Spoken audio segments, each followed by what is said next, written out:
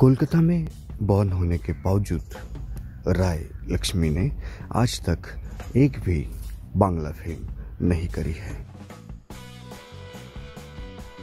South और बॉलीवुड में उन्होंने ज़्यादातर काम किया है।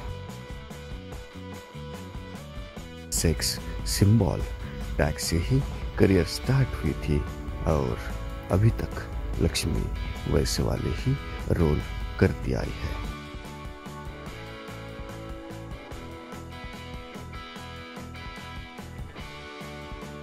एक सिजलिंग एक्ट्रेस के रूप में उनका करियर वैसे स्टेबल रहा। ना कभी टॉप की हीरोइन बनी, ना कभी उनके पास काम की कमी खाई बहुत सारे टॉप के हीरोज के साथ उन्होंने काम किया।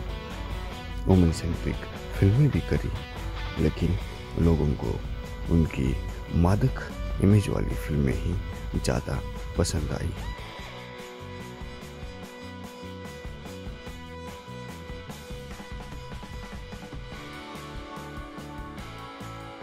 हिंदी में उन्होंने ज़्यादा काम नहीं किया है।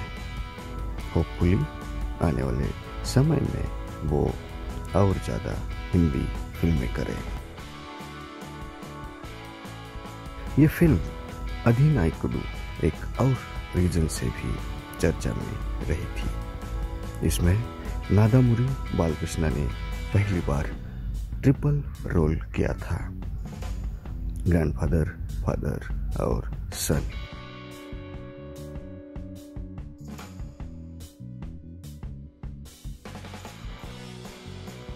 लेकिन इसके बावजूद फ़िल्म को बहुत सारे निगेटिव रिव्यूज़ मिले थे और फ़िल्म फ्लॉप रही थी। लेकिन राय लक्ष्मी का इस फ़िल्म में का प्रेजेंस रिमार्केबल रहा था।